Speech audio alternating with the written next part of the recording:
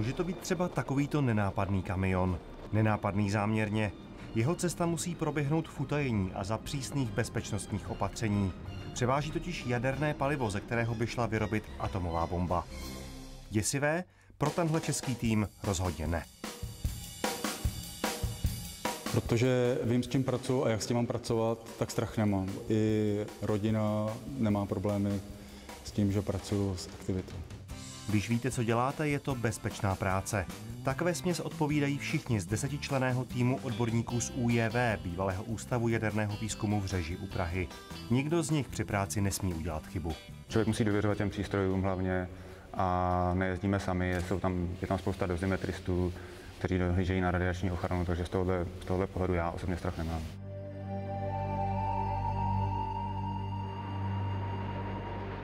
Kvůli tomuto okamžiku vznikl o 6 let později český tým. Po 11. září se totiž Spojené státy společně s Ruskem dohodly, že je třeba snížit riziko, jaké představuje vysoce obohacené jaderné palivo. Rozkaz zněl jasně. Stáhněme ho, než se dostane do rukou teroristů. Řekněme, že chcete vyrobit atomovou bombu. Především budete potřebovat dostatečné množství vysoce obohaceného uranu. Vytěžený uran v sobě obsahuje jen něco přes půl procenta izotopu 235 a ten nás zajímá. Složitým procesem je třeba zvýšit jeho podíl až na řekněme 95%. Nic takového ale v běžné jaderné elektrárně nenajdete. Pořádně obohacené palivo je jen ve výzkumných ústavech a na jaderných ponorkách. A právě Češi dostali za úkol ho odtud odvést. Dřív, než by někoho napadlo ho ukrást.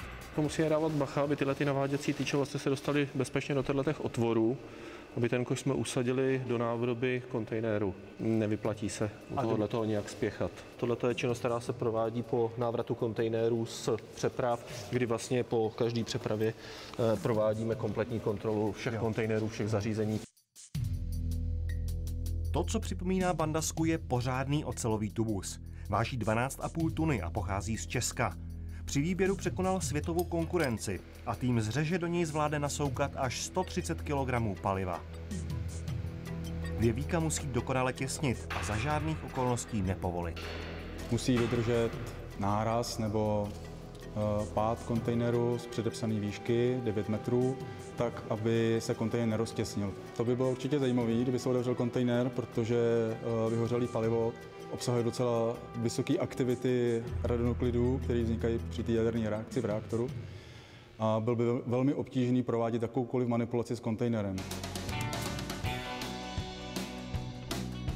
Tihle pánové se s modrou bandaskou už podívali na hodně míst. Zářící palivo odvážejí ze zemí bývalého východního bloku, ale i z Asie. Vezou ho zpět do země původu do Ruska, kde jeho sílu utlumí. Přepočteno na atomové bomby za uplynulých sedm let jich český tým odvezl už asi 25. Odborníci z řeže si získali oblibu nejen profesionalitou, ale i schopností občas zaimprovizovat. Nedávno eh, na cestě ve Větnamu byla taková příhoda, že jsme museli měřit eh, tu těsnost delší dobu a stalo se to, že přes noc jsme museli zůstávat, tak jsme tam spali na složených židlích několik nocí. Takže takovýhle lůžkový úpravy máme třeba. Tohle jsou záběry z větnamské služební cesty. Vypadá to na běžnou rutinu, ale není. Vyhořelé palivo se tu s českou pomocí poprvé oficiálně proletělo. Do letadla ale kontejner dostal ještě zvláštní obal, kterému rusové výstěžně říkají kožuch. Je testován, aby ochránil kontejner, i kdyby s ním letadlo spadlo. Zařídit převoz takové zásilky často trvá i několik let. Své o tom ví koordinátor projektu Josef Podlaha. Jeho práce je připravit celé stohy povolení. Nezřídka musí pomoct i mezinárodní smlouvy či diplomatické nóty. Na Ukrajině však před pár lety ani taková spousta bumážek nestačila. Stalo se nám, že eh, do toho vstoupil ukrajinský celník, který eh, neuznával mezivládní smlouvy a nechtěl pustit transport na území Ukrajiny, ačkoliv to už bylo domluveno na úrovni ministerstev. Mají se čím chlubit, přesto zůstávají skromní a pomáhají zbavit svět jaderné hrozby s odzbrojující samozřejmostí.